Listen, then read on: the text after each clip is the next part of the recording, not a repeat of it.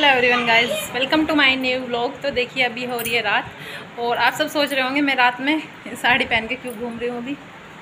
तो मैं रात में गई थी प्रसाद चढ़ाने के लिए। वहाँ से हम लेकर आए हैं प्रसाद। जैसे जहारवीर बाबा जी का वो था वहाँ पे। वहाँ पे प्रसाद लेने गई थी मैं। पार्थ यहाँ पर प्रसाद खा रहा है। हेलो बाहर दिखाती हूँ मैं आपको प्रसाद ले, लेके जो मैं आई हूँ। बच्चे खा रहे हैं।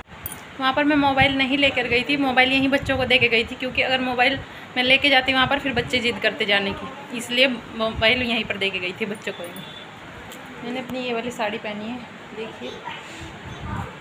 Hello everyone guys welcome to my channel कैसे हैं आप सब? आई होप आप सब बहुत अच्छे हो। फ्रेंड्स तो फ्रेंड्स देखिए। अभी अभी मैंने खाना खाया था तो मुझे हो रही थी थोड़ी सी क्रेविंग और मेरे कुछ फ्रेंड्स की रिक्वेस्ट आ रही है white bar and white cube की। तो मैंने सोचा उनकी रिक्वेस्ट भी पूरी हो जाएगी और मुझे क्रेविंग हो रही थी। सोडन क्रंच स्टार्ट करते हैं। बहुत ही वाइट आइटम मुझे बहुत ही ज़्यादा पसंद आने लगे हैं। उनकी रिक्वेस्ट थी वाइट बार की। तो देखिए वाइट बार तो मैंने अभी शायद एक हफ़्ते पहले अभी अभी मैंने वाइट बार क्रंच किया है। आप मेरी पिछली वीडियो में जाकर चेक कर सकते हैं। अभी मेरे पास वाइट मिनी बार है तो मैं उसी को क्रंच करने जा रही हूँ। तो बिग बार तो मेरे पास अभी अवेलेबल नहीं है। बिग बार मैंने क्रंच कर लिया था। आप मेरी बैक वीडियो में जाके चेक कर सकते हैं। और मेरे कुछ फ्रेंड्स बोलते हैं, स्टिकर मत लगाइए और कुछ मतलब ये सब बोलते हैं, आप अच्छा नहीं है, मिट्टी खा रही हो, ये गलत है। सो देखिए फ्रेंड्स मतलब ये मुझे बहुत पसंद है मिट्टी खाना। ये कोई गलत आदत नहीं है। मुझे बचपन से क्ले पॉट खाना बहुत ही ज़्यादा पसंद है। मैं बचपन से खाती हूँ क्ले पॉट और हार्म करती है, ये पता है मुझे भी, लेकिन आदत हो गई है। धीरे धीरे मैं कोशिश कर रही हूँ स्वेलोइंग कम कर रही हूँ क्रंच ज़्यादा कर रही हूँ।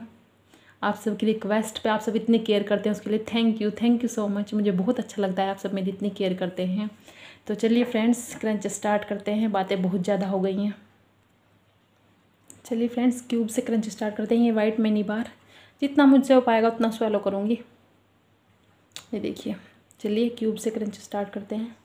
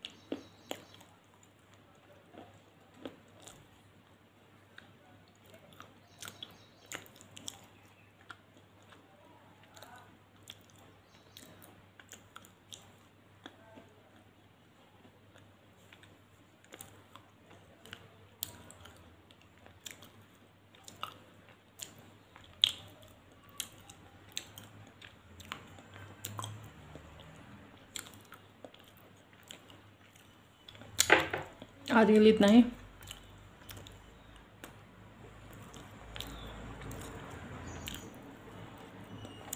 मैंने सोचा था मैं बार भी स्वेलो करूँगी, लेकिन ज़्यादा स्वेलो करना एक साथ अच्छी बात नहीं है। क्यूब भी काफ़ी क्रंची टेस्टी एंड सेटिस्फेक्शन वाला टेस्ट था क्यूब का।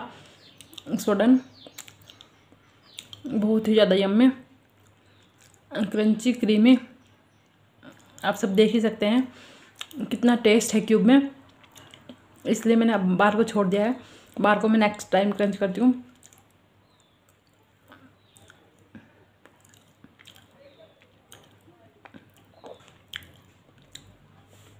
आप सब ये मत बोलना कि आपने बाहर को जानबूझ के छोड़ दिया है। ऐसा कुछ नहीं मुझे क्यों भी इतनी ज़्यादा टेस्टी लगी है। बहुत ही ज़्यादा टेस्टी